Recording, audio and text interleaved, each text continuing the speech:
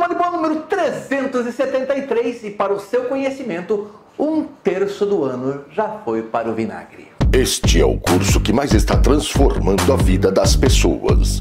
Autoconhecimento e Firmezas 2019. Agora sim chegaram as matrículas para o curso Umbanda de Autoconhecimento e Firmezas da Umbanda. Um curso que ensina você a conhecer a si mesmo, a como se conectar melhor com o sagrado, a entender a importância do sal grosso, das ervas, de velas, como firmar adequadamente as velas, como entender a mensagem das velas e que vai te dar experiências práticas de fazer oferendas para os orixás e guias. Um curso que transformou milhares de vidas, um curso curtinho, apenas 13 aulas, 3 meses, para que você possa transformar também a sua vida. Eu, para variar, faço aquele pedido de sempre.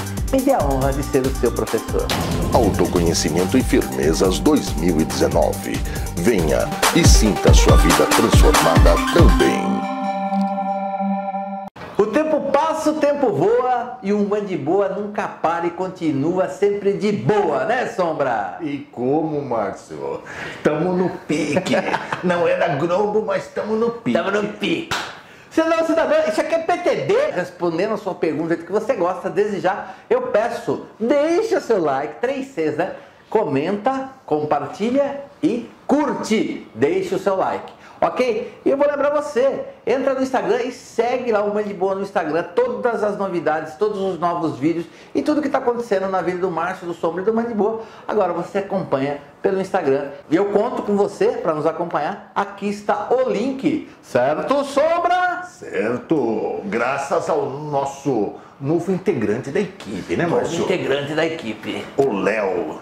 O Léo. Leonardo é a nossa nova aquisição na equipe Um de Boa, ele que está trabalhando todas as nossas mídias sociais a gente vai mandando material e ele que vai envolvendo a gente aí. Então você pode acompanhar que sempre tem novidade. E se não tiver, você xinga o Léo, não xinga o Márcio nem o Sombra, tá bom? Não esqueça, cidadão ou cidadã, manda seu vídeo, meu milagre na Umbanda, pra gente mostrar no final dos vídeos de sábado, uma coisa muito bacana e fortalece a fé de todos os umbandistas. Quero, espero o seu depoimento. Eu tenho muitos milagres e eu sei que você também tem. Manda o seu vídeo de até um minuto, grava sempre com o celular.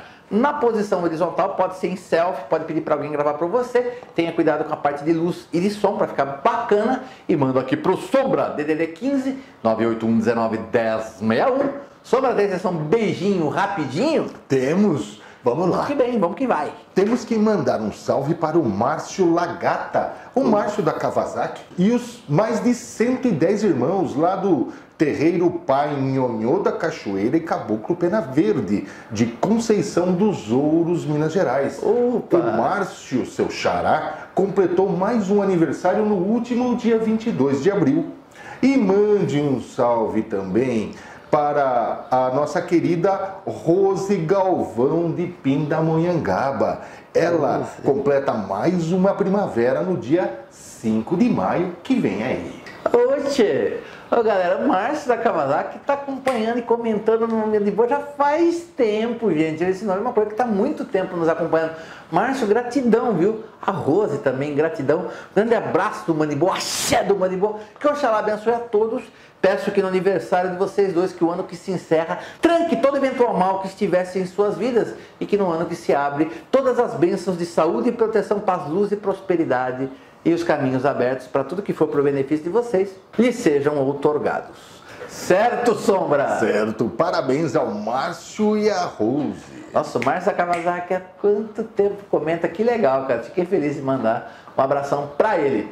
Sobre trabalhar, trabalhar, trabalhar, trabalhar. Meu nome é Márcio Trabalho Caim. Vamos diretamente para a pergunta de número 1. Um. Tenho 29 anos e desde criança sofro de transtorno obsessivo compulsivo, o TOC. Já tentei o suicídio três vezes. Um dos vários sintomas é demorar duas horas para tomar banho. Cresci na Igreja Católica e recentemente estou conhecendo a Umbanda. Já me falaram que não tenho nenhum obsessor e que o toque é uma pendência de uma certa vida passada que, infelizmente, estou pagando agora. Já aceitei isso e estou conformado com o meu destino. Há pouco tempo, numa gira de Preto Velho, eu disse que a minha intenção ali era apenas receber um passe para ter energia positiva e assim enfrentar mais uma semana. Aí ele me recomendou que eu fizesse um ritual bem complicado de sete dias para o Mulu. Eu não fiz porque não consigo acreditar na existência dos orixás. Não é preconceito. Só achei muito surreal as lendas de cada um deles. Porém, eu acredito 100% nos médiums e em todas as linhas de guias que incorporam. Também acredito 100% em reencarnação e vidas passadas. É possível o preto velho estar bravo comigo por não ter feito o ritual ou eu ficar azarado por conta disso, Márcio? É, um outro toque que você tem é escrever bastante. Eu não sei o que eu estou falando, mas eu entendi. Vamos à sua resposta, que é o que interessa realmente. Não, não tem como o preto velho ficar bravo com você. Por quê? O preto velho ele está lá para dar uma orientação, ele te dá um passe, ele te descarrega, ele te dá uma orientação para o teu bem. Por que, que ele ficaria bravo por uma coisa que você não fez para o seu bem? Na existência do preto velho não muda nada na vida dele, mudaria na sua. Claro que se você for uma duas vezes, ele vai perguntar, filho, você fez? Você vai falar assim, não, preto velho. Falei, então, meu filho, por isso que não está melhor, entendeu? Então, assim, não tem. Espíritos superiores, eles sabem reconhecer tranquilamente as nossas faltas e falhas. Não é que eles perdoam, eles relevam muita coisa. Eles sabem, só que você passa a não ter direito de reclamar ao preto velho que sua vida não mudou, porque ele te dá uma solução, você não faz. Agora, assim, meu filho, se você falou que não consegue acreditar nos orixás, por causa das lendas. Então assista o nosso vídeo Itãs Lendas dos Orixás, onde eu explico o porquê que as lendas são feitas desse jeito que às vezes assustam um pouco as pessoas. Outra coisa, meu filho, para você entender o que é orixá, é fazer o curso do Mandibô de Teologia da Umbanda. Agora é só em setembro, mas a gente tem a parte de orixás, uma parte muito extensa do curso, e a gente explica tintim por tintim o que é, por que é, como é que é, como é que salda, como é que faz oferta, qual é a cor de vela, quais são as lendas, quais são as características dos filhos, e entender acima de tudo o que é orixá e quem são cada um deles, um por um. Né, Sombrão? Mas a sua resposta é: o preto velho não está bravo, não, tá? Preto velho que fica bravo é só quando o filho é muito próximo. Por exemplo, meu preto velho que incorpora em mim, ele pode ficar bravo comigo. Porque ele está fazendo tudo para que eu entre num caminho positivo, ele orienta, orienta e eu não faço. Aí eu vou reclamar para quem? Para o bispo? Reclamo para Deus, ele vai ouvir essa reclamação e vai falar: não, sua vida não melhora porque você não quer, porque você não faz o mínimo. Agora, uma coisa me estranhou: você falou que o ritual de Mulu é muito complicado. O que é muito complicado eu não sei, você não fala. Eu só posso falar daquilo que deu para entender. Você pôs muita informação e às vezes o que interessa ficou pouco. Mas eu falo para você, meu filho, tenha paz no seu coração e tenha fé.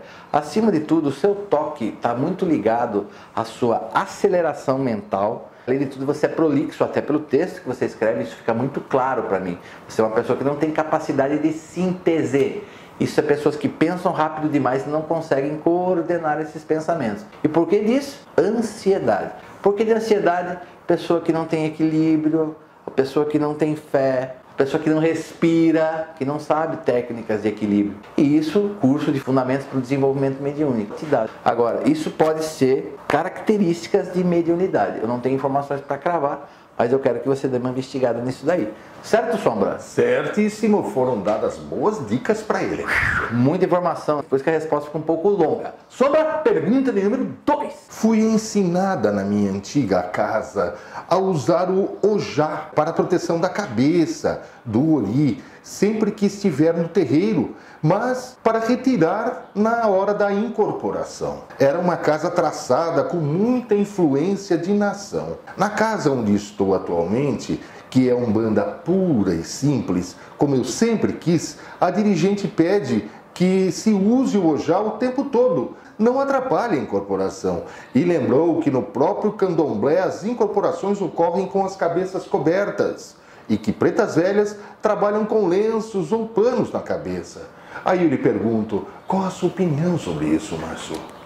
Bom, para quem não sabe o que é ojá, ojá é o pano branco que as mulheres colocam na cabeça, pode só prender como um lenço ou pode até fazer um pequeno turbantinho, dependendo do tamanho que é o seu ojá.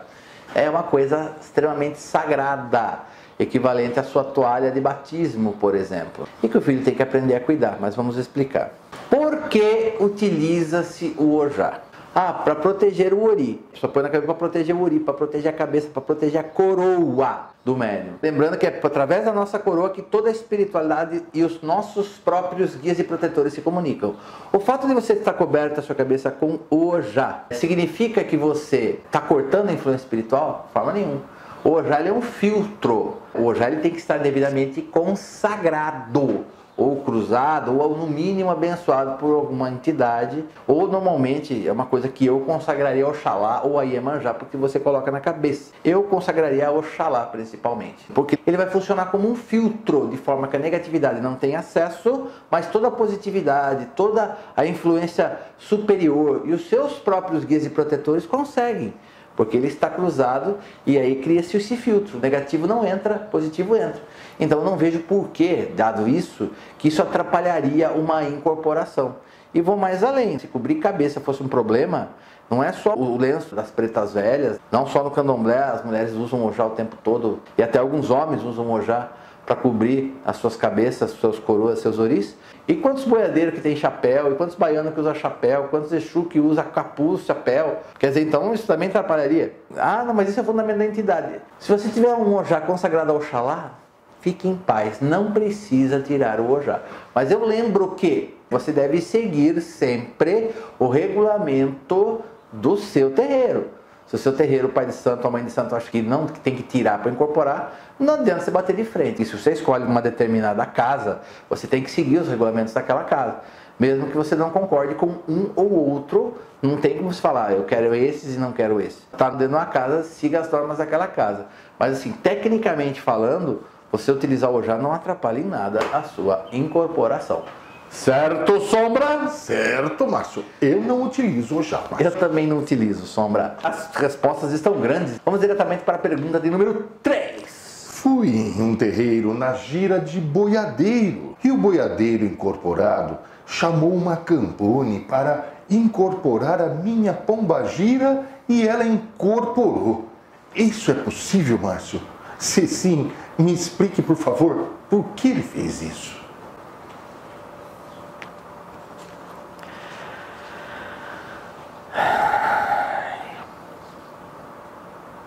Ai, gente, eu fico tão chateado com essa coisa do pessoal manipular e brincar com a espiritualidade que eu fico triste. Mas vamos lá. É aquela velha história. Eu marcho pelo que eu sinto. Eu sou muito quando eu escuto o que eu estou sentindo, coração e mente, o que vem, e aí é o que eu faço a resposta. Por isso que tem muita gente que fala, ah, essa também pode ser isso, pode ser aquilo, você deveria ter respondido isso. Eu respondo o que eu sinto. E o que eu estou sentindo? Eu estou sentindo que de verdade, no seu caso, foi um absurdo. Eu não vou falar que a Cambone não recebeu uma pombagira, duvido que tenha sido a sua. Esse é o ponto, esse é o meu ponto de vista. Se o boiadeiro quer mostrar mesmo, ele fala: peraí, que tem uma pessoa que quer conversar com você. Ele pode fazer um transporte da sua pombagira no aparelho que ele está usando, a sua pombagira vai falar rapidamente. Isso não é comum também, é meio raro de encontrar. A sua pombagira vai falar algumas palavras rapidamente com você, depois vai embora o boiadeiro retorna e ele vai explicar. Eu fiz isso para você acreditar, para você mostrar, para você ver a sua entidade, para você sentir, para que você pudesse ter uma conexão direta, face to face, olhando diretamente para sua entidade para conversar com ela. Mas assim, é só isso e aí haveria um propósito. Volto a falar. Qual seria o propósito de um boiadeiro chamar um cambone? Outra coisa, se fosse médium, ele estaria na corrente. Por que, que ele chamou um cambone para incorporar? Não tem sentido nenhum, não tinha propósito. Se o boiadeiro realmente quisesse fazer isso, ele poderia ter usado o próprio corpo físico, o aparelho que ele estava utilizando. Então eu achei muito temeroso. Eu estou muito triste que as pessoas mandam essas perguntas para ouvir essas coisas da minha boca, entendeu? Eu me enxergo, sabe, um grãozinho de areia tão pequenininho perto da espiritualidade, pelo reconhecimento de quão mais sábios, mais poderosos eles são. Eu sou um servo da espiritualidade. Curiosamente, há uns dias atrás foi um pessoal que levou uma criança que estava com um problema se eu podia receber o preto velho para dar um passe. Eu falei, não, você acha que eu vou chamar o pai Benedito a hora que eu quiser? Você acha que é assim a festa da uva? Peguei um galinho de arruda, no meu pé de arruda, peguei água e abençoei, cruzei e benzi a criança. Eu benzi a criança, a criança dormiu imediatamente. Eu senti o Pai Benedito perto de mim. Mas isso não significa que eu incorporei, porque ele não é tipo, Pai Benedito, incorpore agora, que o senhor precisa atender a pessoa. Isso não existe. Eu vejo as pessoas tratando os assuntos de incorporação uma banalidade, com uma falta de respeito. Eu fico realmente chocado, é a palavra correta. Então, gente, por favor, gente, mais respeito a espíritos tão maiores, tão mais evoluídos, tão mais poderosos do que nós. Não brinque com coisa séria. Eu acho que nesse caso aí, eu acho muito furado isso daí.